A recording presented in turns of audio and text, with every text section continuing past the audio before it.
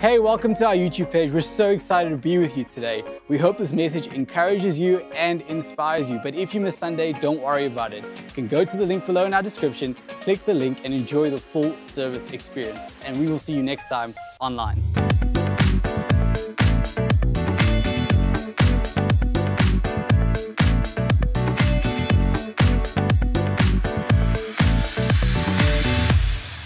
Everyone, and welcome to Bridge Online. It's fantastic to see you all again. Thank you so much for inviting us into your home. We appreciate it, and um, we hope you've enjoyed the service so far. We're going to have a fantastic time um, going forward as well. And so, I just want to invite those of you who are here for the very first time, if you are online with us and have never joined a Bridge service before, we want to welcome you especially.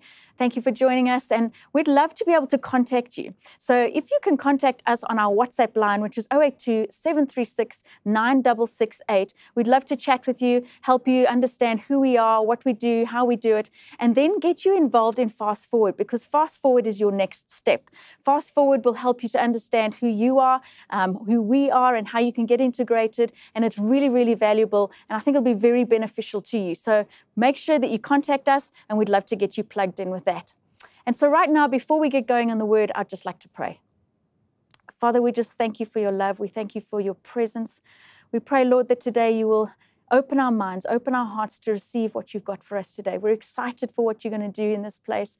And I just really pray that in every way, your hand will be on what we do, your hand will be on every single person listening. In Jesus' name, amen.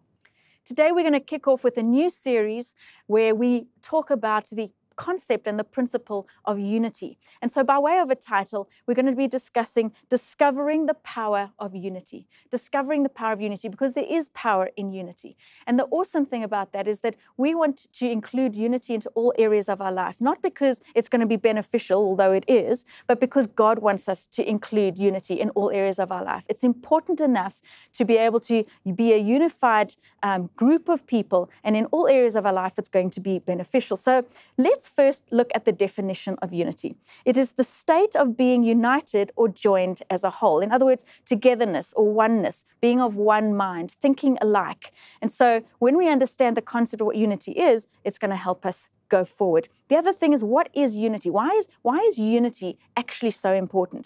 Well, unity is actually needed for survival. In fact, it's so interesting because if you if you are living in unity and we're in a group of people and you're all friends, we get to help each other. We get to support each other in circumstances and situations that we might be facing. So that helps us survive whatever challenge that we might be facing. But it's also interesting that in nature, we actually see in so many circumstances two completely different species coming together in a unified way, in a mutualistic, symbiotic relationship where both parties actually benefit. And in fact, one of them is the oxpecker and a zebra or a rhino or a buffalo. If you've ever seen, maybe in the Kruger Park, you'll see animals together, like, like the rhino or the buffalo, but there's a bird on top of it, and that is actually called the oxpecker. And what the oxpecker does is they eat the parasites off the animal, and obviously the animal then doesn't have to struggle with the parasite, and the oxpecker gets his food. So it's a mutualistic um, relationship where both parties actually benefit.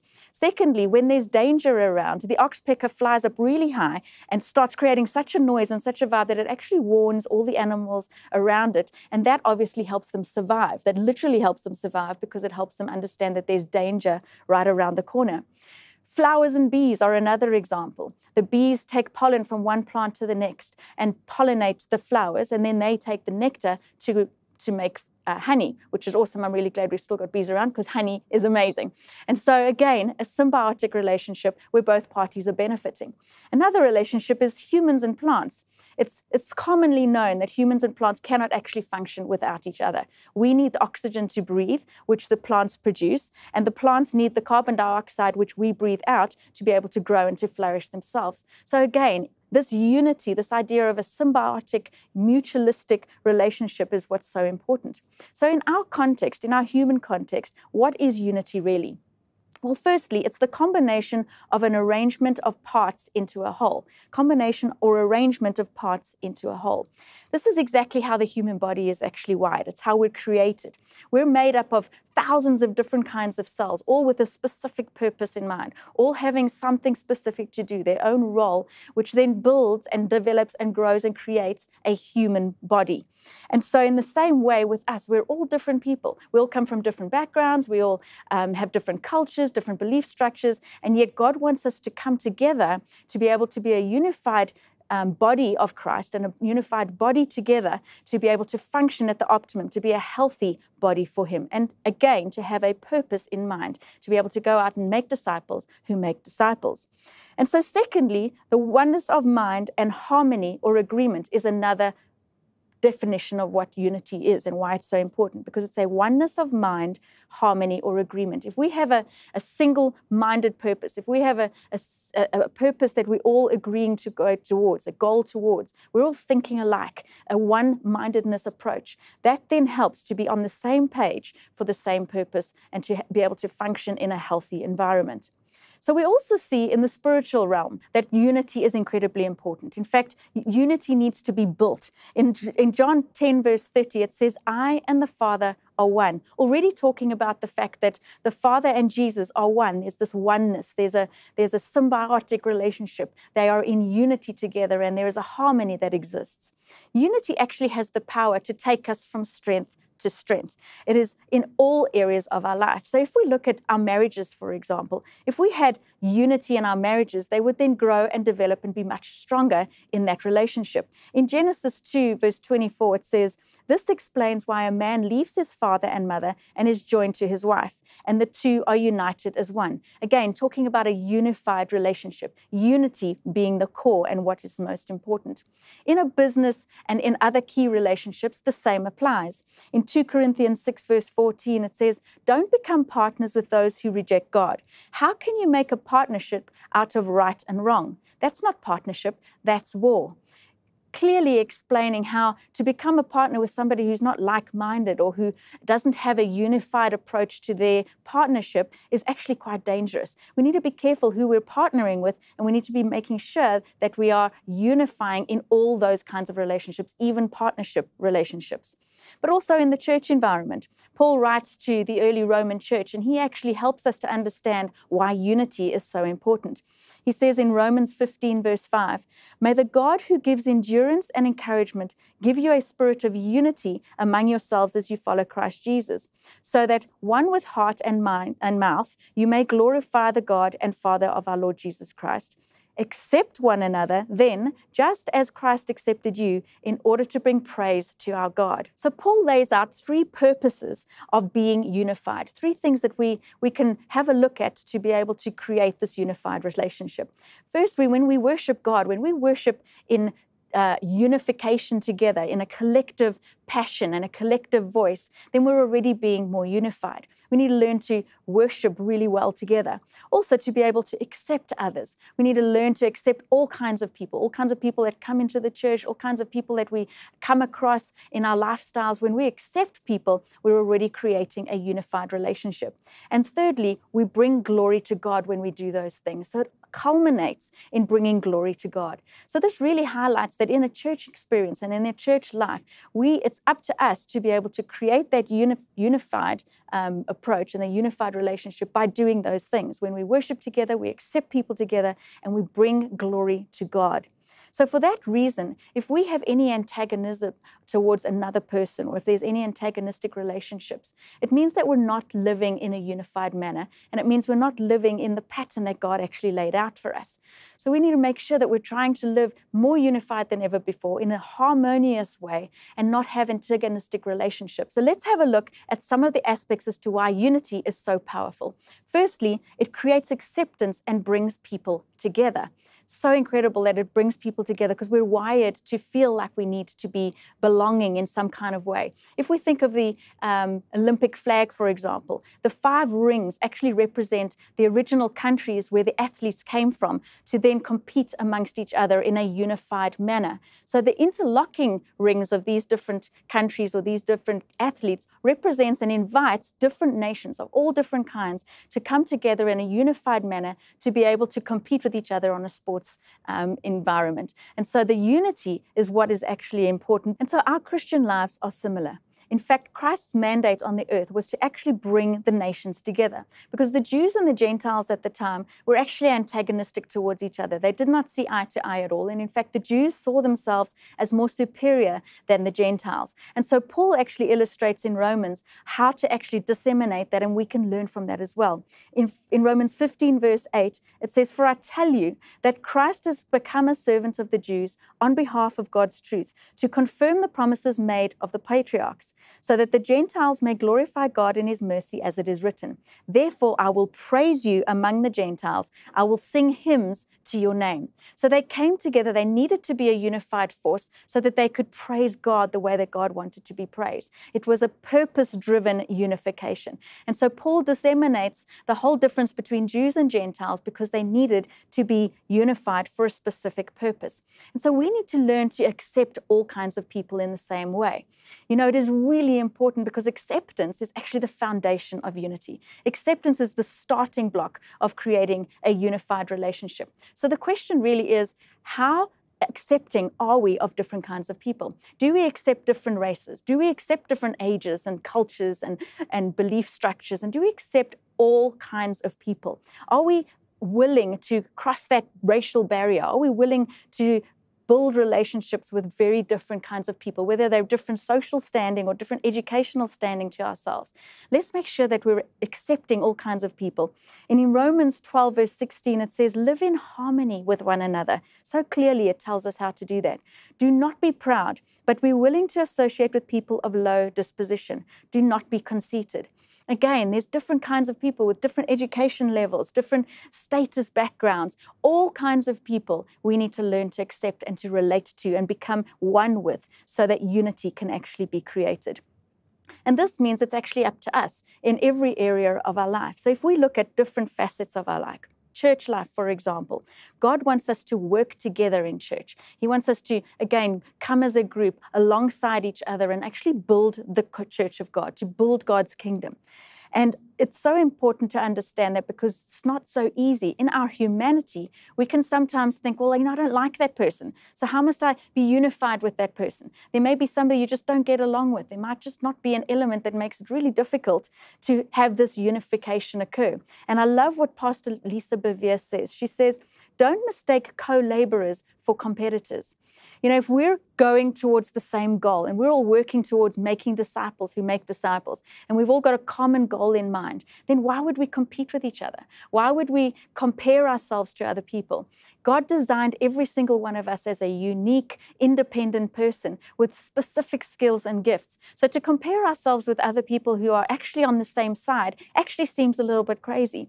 So why do we do it? We need to take that humanity away, know that God wants us to be unified as a whole. And if we're working for the same goal, it's going to make so much more um, impact if we're doing it together than we would independently. So let's not let our insecurities override what God wants to do in the church. Let's not let our insecurities and our faults be part of this unifying process, but rather let unification and our unified relationship override all of those things. So, how do we practically achieve that in church life? Well, first of all, we need to share the same common values. You know, Bridge has um, certain values that if all of us live by and all of us really believe in, we're already unified. We choose to love God, love people, discover our purpose, and to gain influence. So if we all believe in that and we're all working towards that and living our lives that way, we're already more unified than we would be than if we didn't. Secondly, we need to make sure that we are committed to the vision. Bridge's vision is all in. And so if we live our life all in in our family, all in in our church life, all in our businesses, all in in our finances, in every area of our life, when we live all in, again, we're already living in a unified manner as a unified church. And thirdly, if we are committed to serving, if we place the same amount of value on serving and giving, then we're all in a unified, like minded frame of mind to be able to live in a unified way. And so let's remain committed. Let's remain committed to our serving. Let's remain committed to our giving. Let's make sure that it's still a priority. Let's make sure that it's still very important to us because as we're all seeing how important that is, the whole church is on the same page. So let's give of our time, our talent, and our treasure and consistently make sure that unification is a priority. God wants us to be a unified church of God so it can grow and flourish. Secondly, in our businesses, you know, when a, when a colleague gets a promotion, how do we respond? Do we respond where we're like, well, we're thinking about how they got there or a bad motive as to why they shouldn't be getting that promotion? Or do we celebrate with them? Do we celebrate the fact that my role also is important, even though they might have been celebrated at this moment in time? Let's be confident in the fact that whatever we're contributing to the organization also matters, even though somebody else might be promoted one time, you might be promoted another time. We need to confident, be confident in that and make sure that every aspect of what we're doing is seeing the goal in mind. We want to build the business, grow the business, at the same time, make sure that that purpose is done in a unified manner. So, how do we practically do that? Well, if you own your own business, we need to make sure that we hire the right people. Hiring the right people is incredibly important, that you're all on the same page, that they have values and a similar like minded way of doing business. The three C's are so important as well chemistry, competence, and character. If you can get somebody who taps those three elements in line with the way that you value your business and you have values that are in line with who they are, then it's going to be a sustainable relationship and unity can form. Secondly, we need to communicate our values. The more often we communicate our values to our staff or the people that we work with, the more likely we are to be on the same page, the more likely we are to be unified in the way that we do business. And then thirdly, create an atmosphere of working through tough times together.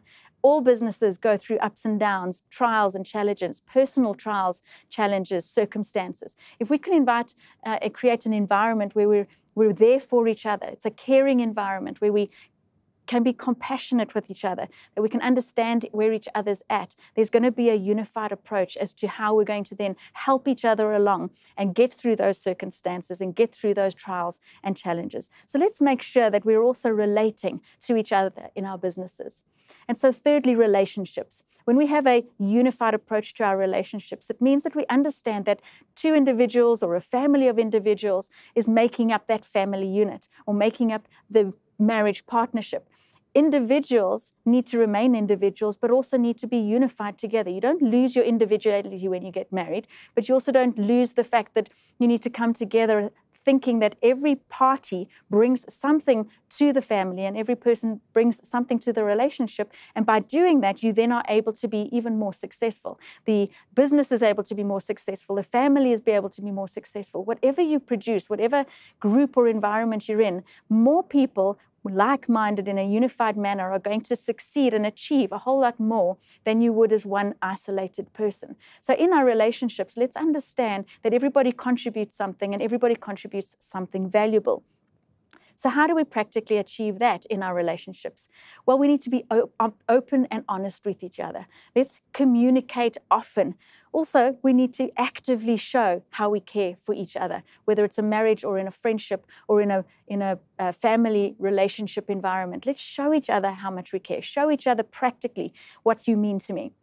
Thirdly, we need to make sure that what we're doing together actually are things that we enjoy doing. Do things that we all enjoy doing together as a family. Maybe you enjoy hiking. Maybe you enjoy camping together. Those are fun things that you can do as a family that create unity. It creates a bond. It increases the fact that value of each other's input and value of who each other are as independent people places uh, an incredible amount of value on creating that unity in the family.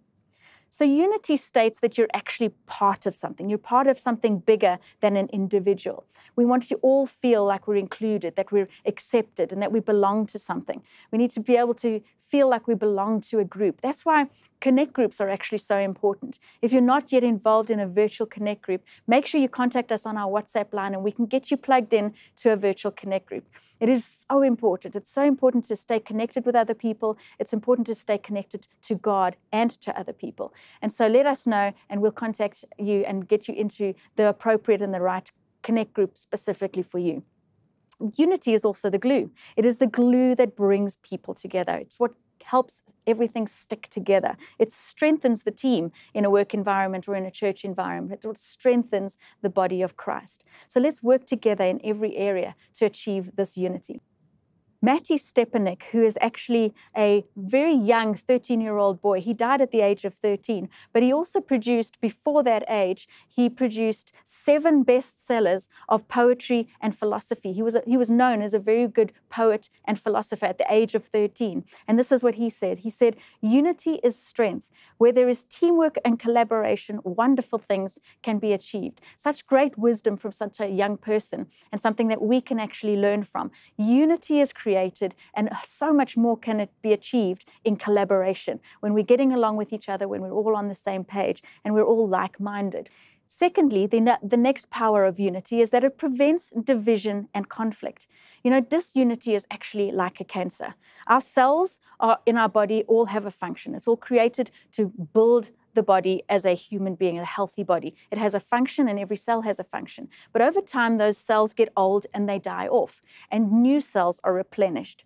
But what happens in a cancerous situation is that those old dying cells actually don't die off. They remain there, and the new cells are still being produced. So you end up having more cells in the body than your body actually needs.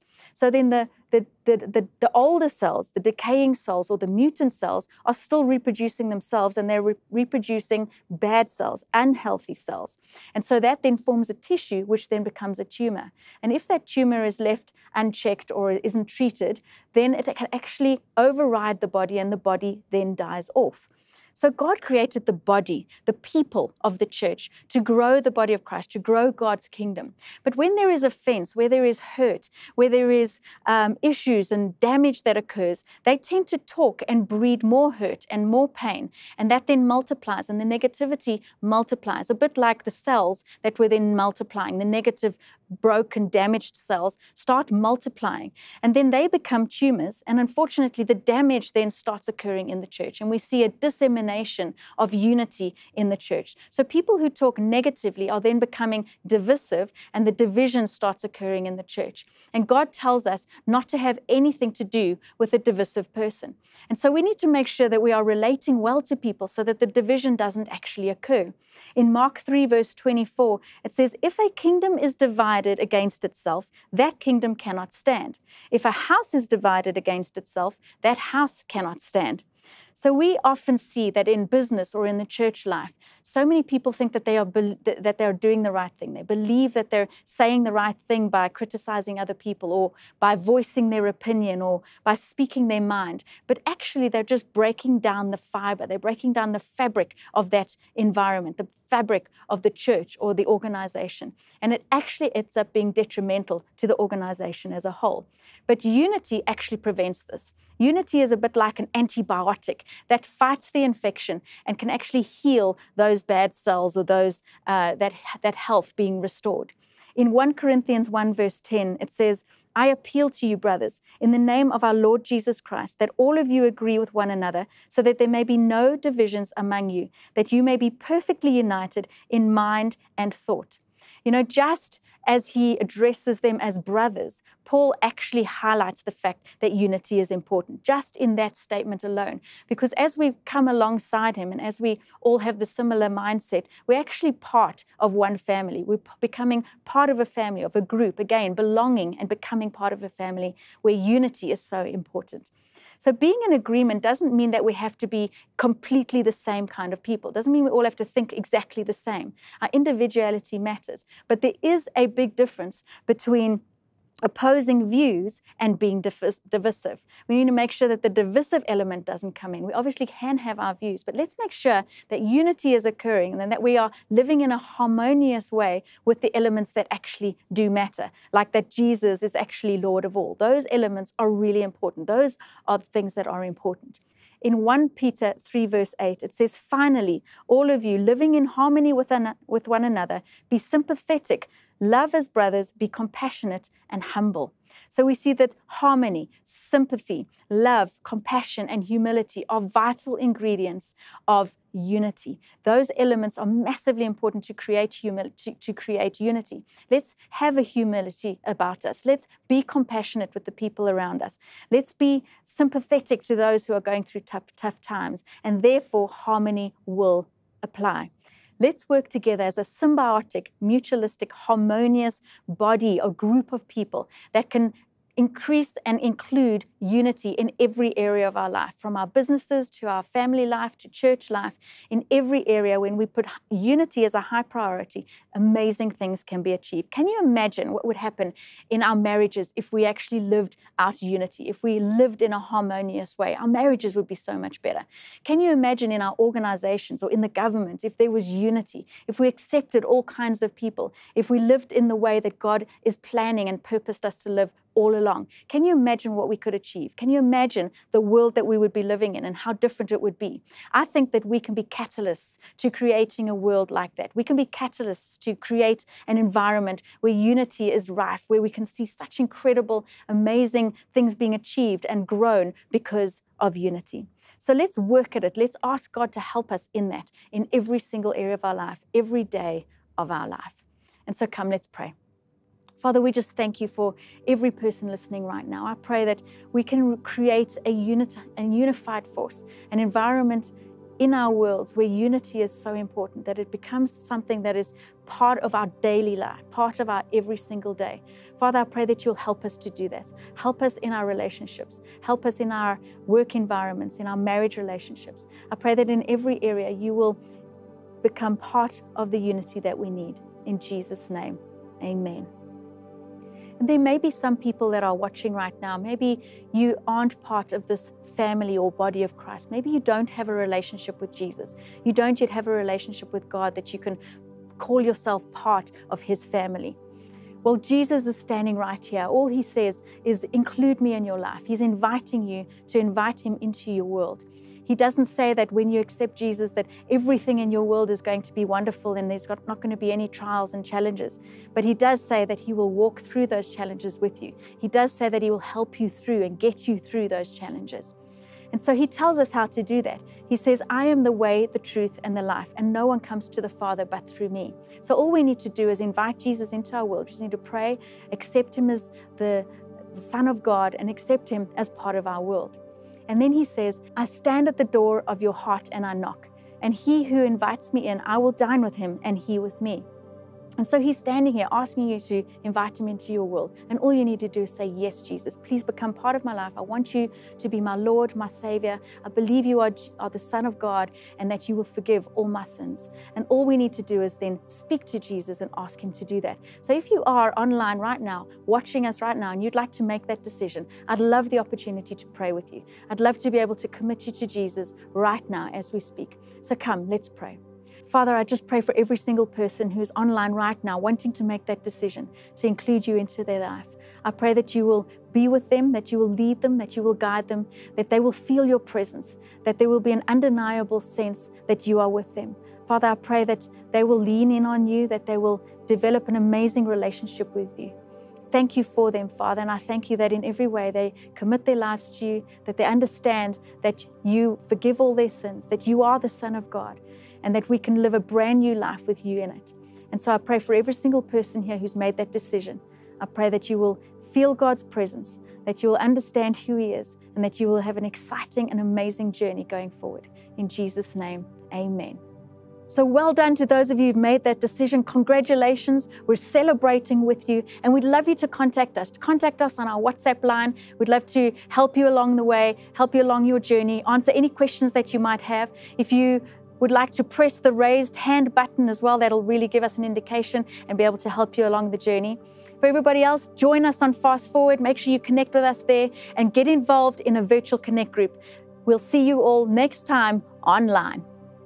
Thank you for joining us today. If you have made a decision to follow Christ or are with us for the first time, we'd love to hear from you. Please send us a text on WhatsApp or follow the link in the comments to the Connect with Us page. If you're watching on Church Online platform, click on the Connect with Us tab at the top right of the screen to complete the form and we'll be in contact with you. Let's remember to continue to each week, each one, reach one. We can't wait to see you and your guest next time online.